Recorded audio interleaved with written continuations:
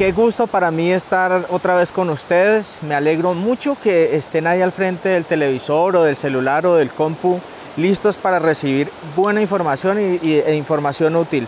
Pues como vieron en la miniatura hoy voy a dar unos unas 10 eh, consejos o 10 aspectos en los que tenemos que estar muy, muy atentos en nuestra moto, sea la moto que sea, el cilindraje que sea, eso no importa. Aquí no hablamos de cilindraje, ni de estilos, ni de nada eso. Son eh, aspectos que cualquier moto, en cualquier moto podemos encontrar, ¿no? Pero son unas revisiones que tenemos que estar haciendo siempre muy exhaustivas no hay necesidad de, digamos, pues llevar la moto a que, al mecánico o algo. Si usted cree que no tiene las, que no tiene los conocimientos, pues listo, pendientes con este video porque aquí va a salir información muy importante. ¿Listo? Y entremos de lleno entonces con el tema. El primer paso que vamos a hacer para revisar nuestra moto es, vamos a estar muy pendientes de lo que son las pastillas de freno y el líquido de freno. Las pastillas ustedes saben que se vienen aquí a esta, me perdonan pues el mugre, pero ha estado lloviendo mucho. Hay que estar revisando el estado de las pastillas. Hay que estar pendiente del nivel de estas pastillas, que no estén muy desgastadas, porque si usted las ve muy de... Estas no son, son es la parte interna, que es, lo que se desgasta, ¿no? La parte negrita, que espero se, se esté viendo allí. Esa parte negrita que va aquí dentro. Si está muy desgastada, corremos el riesgo de que eso nos dañe el disco de freno, tanto aquí en la, en la llanta trasera como en la delantera. Si llegamos a dañar el disco de freno, pues eso siempre tiene un costo que duele mucho dejar uno dañar un disco de freno porque, porque descuidan el, el, el, estado de las pastillas, ¿no? A ver, por aquí es un poquito más difícil verlas, pero no sé si se vean ahí por el contraluz. Pero ahí mismo pues están las pastillas delanteras, ¿no? Y tenemos que estar pendientes de eh, que no se gasten porque peligra la vida útil de nuestro disco de frenos, tanto este delantero como el trasero. Entonces pendientes muchachos porque es más económico cambiar unas pastillas. Se pueden conseguir desde 12 de 16 mil, 15 mil pesos en adelante, pesos colombianos y dependiendo también por supuesto de la moto. Entonces primero estar muy pendientes de las pastillas y segundo el líquido de frenos que se nos muestra en esta ventanita no debe tener prácticamente ningún espacio aquí. Esta ventanita no se le deben ver burbujas dentro. Si usted ya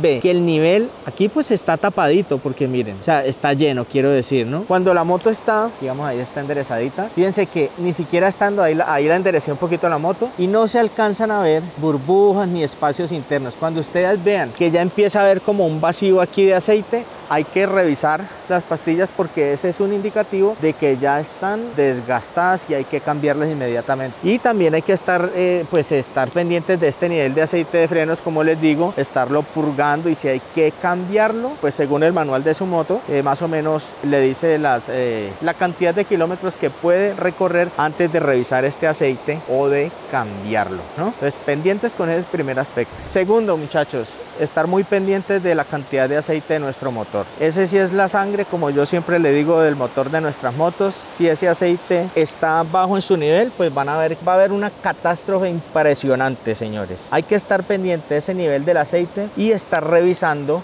en el, el, filtro del aceite. En el caso de esta moto, pues es un filtro que va aquí. En el caso de, por ejemplo, en otras motos, pues ya hay que revisar el, eso viene como un tamiz o viene una mallita. Entonces, dependiendo de la moto, revise usted ese filtro de aceite que en la mayoría de las motos es muy fácil revisarlo. Simplemente se desatornilla una tapita y ahí se encuentra el tamiz. Ahí les dejo en pantalla filtro de aceite que ustedes encuentran en su motor. ¿Por qué hay que revisar ese, esos filtros? porque ahí, como la palabra lo dice, pues el filtro nos va a filtrar la limalla o, cositas que va soltando ese motor. Inclusive muchas veces uno lo destapa y, ese, y, ahí se pueden encontrar, digamos, partículas más grandes que una simple limalla, ¿no? Ya se encuentran partículas metálicas y eso sería un de que algo grave pudiera estar sucediendo en el motor, ¿no? Entonces, muy pendientes del nivel del aceite del motor y estar limpiando los filtros. En esta revisión también de ese filtro tenemos que estar pendientes del filtro centrífugo. En algunas también se dificulta un poquito llegar hasta el filtro centrífugo. Por regla general es bastante fácil. Es bastante fácil destaparlo, revisarlo, limpiarlo y listo. Eso, eso lo puede hacer usted en casa. Entonces averigüe si su moto tiene filtro de malla o tamiz o si es un filtro de aceite externo y pendiente de ubicar en su moto el, filtro centrífugo. Muchachos, recuerden por favor suscribirse. Si encuentras también esta información útil, muchas gracias por dejarme un comentario ahí con tu opinión y un me gusta en el video. Te agradezco muchísimo el apoyo, parcero. Otra cosa que también tenemos que estar revisando, muchachos, es, ya les voy a mostrar aquí, el filtro del aire.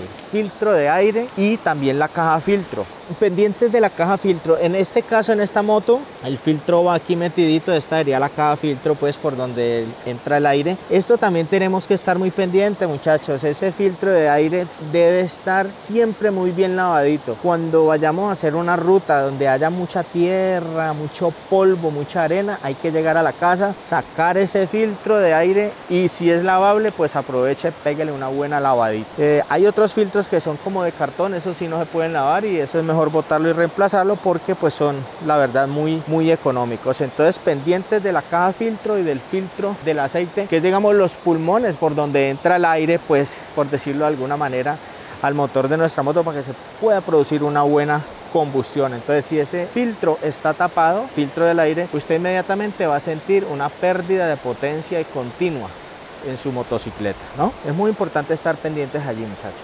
Las barras la suspensión delantera. Después de cierto kilometraje, el líquido interno de estas barras debe ser reemplazado. Por favor, vaya o busque en internet, en línea, el manual de la moto. Averigüe qué viscosidad llevan el, el aceite que va dentro de estas dentro de la suspensión de su moto. Pero entonces ustedes tienen que estar muy pendientes, pero por general es después de los 20 mil kilómetros de uso donde se suele cambiar el, el, aceite interno de esa suspensión. Si nosotros la sentimos que como que no fluye, como que se mueve por, por o sea, la suspensión usted la siente como frenadita, o sea, si siente algún cambio, haga revisar eso. No deje pasar más de 20 mil kilómetros porque seguramente pues esa barra lo van a, a dejar tirado, esa suspensión lo va a dejar tirado tiene que revisar también los retenes de las barras que no vayan a estar malos. Y bueno de eso de, eh, de, eso lo estoy previniendo no revise esos retenes de esas barras y revise el aceite de la suspensión para que evitemos daños más graves.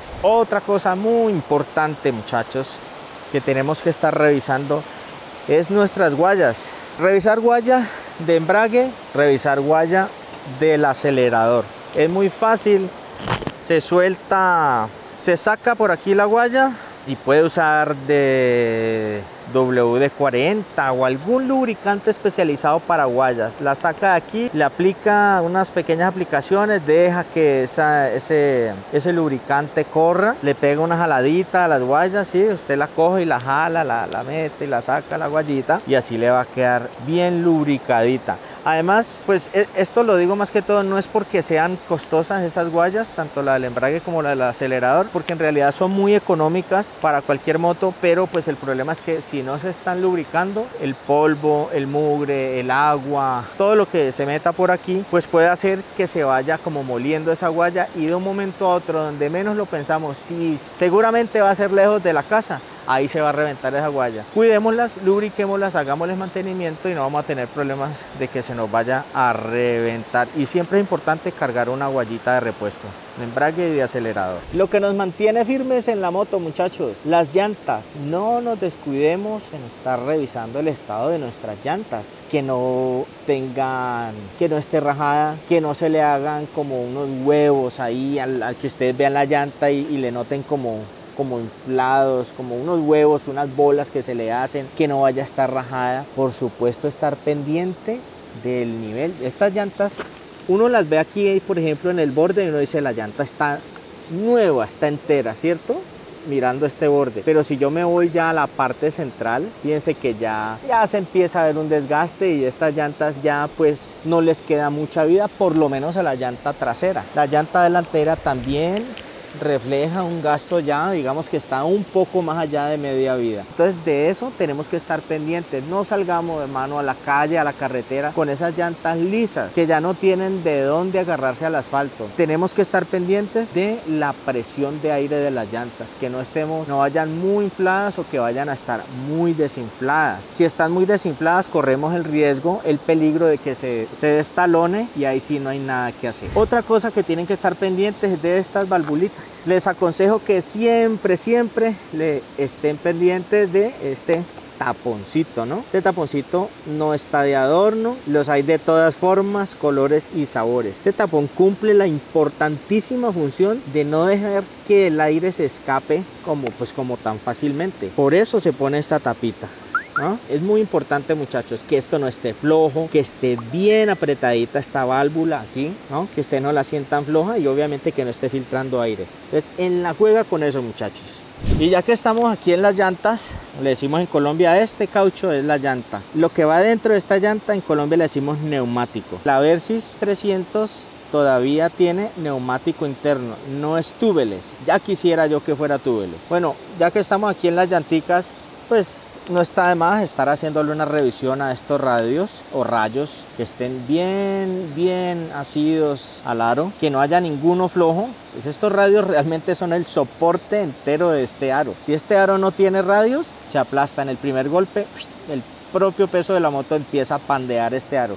Esa es la función de estos, de estos radios. Por eso esta moto es una, una versión aventurera trail precisamente por estos radios. Nos indican de que pueden soportar un destapado. Ustedes se imaginan ir uno tranquilo en la moto y que, y que no le prenda más, que esté usted haciendo vueltas, diligencias y que la moto se le vaya a dar start muerta, pues probablemente se pueda deber a la batería. Y más que la batería se puede deber a un descuido de nosotros con la batería. La batería es algo a lo que nosotros no le ponemos cuidado. Nunca uno llena la moto de accesorios, la manda a lavar, la pinta, le cambia el aspecto, le compra de todo y la batería uno no, no, no le pone mucho cuidado hasta que empieza a dar síntomas y cuando la batería da síntomas la cosa ya puede ir un poquito avanzada. Para las personas que tienen batería pues sellada no hay problema, ¿no? Es, una batería que no hay que estarle haciendo mantenimiento, no hay que estarle haciendo mantenimiento, entonces uno no se preocupa sino por, digamos, no descuidarse, no, no, dejar la moto con el switch abierto, por ejemplo, eh, las, las alarmas que uno le ponga a la moto, hacerlas instalar bien, si le va a instalar GPS, que quede bien instalado, asegúrese de que esas instalaciones queden muy bien hechas, porque esos son los principales puntos de fuga de la energía de nuestra batería. ¿no? Los que tienen eh, batería a la que hay que estarle haciendo mantenimiento,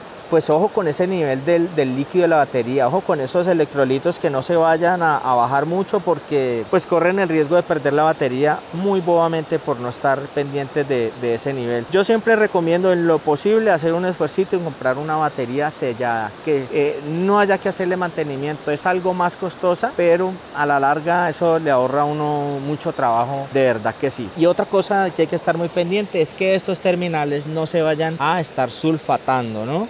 Este como este que está aquí abajo, que no, nos, que no se nos sulfate eso porque eso puede hacer de aislante y puede que no nos deje fluir la... empiece a poner problemas de, de encendido la moto. Entonces, ojo con la sulfatación aquí. Igual de importante es la lubricación de nuestra cadena de la lubricación y el ajuste, la tensión de esa cadena, muchachos. En algún otro video he dicho algunos síntomas que le indican a uno que la cadena se está por ejemplo, aquí se empieza a hacer un espacio, usted mueve aquí la cadena y esto se separa. Eso es un indicativo de que la cadena se está destensionando. Entonces, pendientes muchachos, del estado y la lubricación, holgura de la cadena, tensión por manual. No es que el mecánico déjela por aquí, patrón, qué tal cosa, o déjela más suave, o déjela más dura. No, no le coma cuento a nadie. Si tiene alguna duda, vea, código QR, vaya al internet, busque el manual de su moto y asegúrese las medidas correctas de esa cadena porque le puede salir caro. Entonces muchachos, ojo pues con esa tensión. También el eslaboncito, otra cosa de la que me acuerdo, de que esto esté bien atornilladito. Estos eslabones, que eso esté bien, eh, bien embonado pues. Que ustedes no noten nada raro en la, en la unión de la cadena, ¿no? Pendientes de estos dos tornillitos.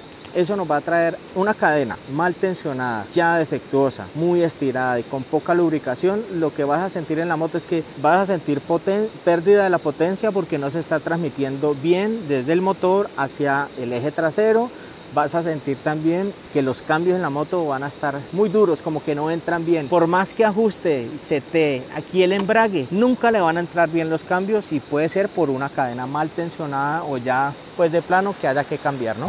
Bueno muchachos, ya para terminar aquí el video, ha salido un poquito largo, pero yo creo que es con información bien importante, muy valiosa. Lo último que les quiero decir es también estar muy pendiente de las conexiones eléctricas de la moto. Si le haces instalar exploradoras, asegúrese de que queden bien instaladas, que no queden cables pelados por ahí, cables sueltos. Revise minuciosamente toda la parte eléctrica de la moto. Cualquier cable que usted vea por ahí chilingueando, como que lo ve desordenado, busque el cable, mire dónde empieza, dónde termina. Y nunca en la moto un cable pelado. Siempre tiene que estar ahí encintadito porque pues ustedes saben que motos que les está entrando el agua por debajo, por arriba, por todo lado. Y si hay un cable pelado puede haber un riesgo de corto o que se empiecen a oxidar las cosas. Levante el sillín de la moto y asegúrese de que todo está en su lugar, todos los cablecitos estén bien encintados. Me perdonan, reitero el, mugre aquí, eh, pero es importante pues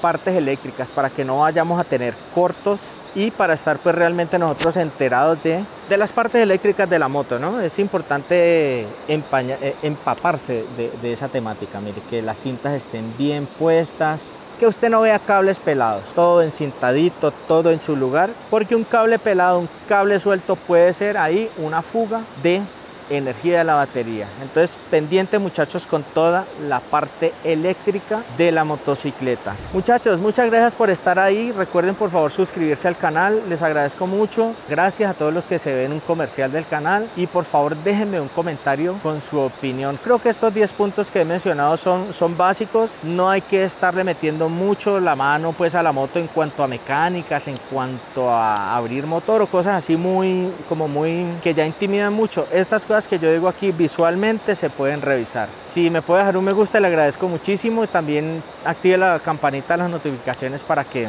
pues eh, siempre YouTube les avise que estamos ahí. Muy buena fortuna para todos muchachos y muchísimas gracias. Chao. Que no falte nunca las ganas de moto, claro.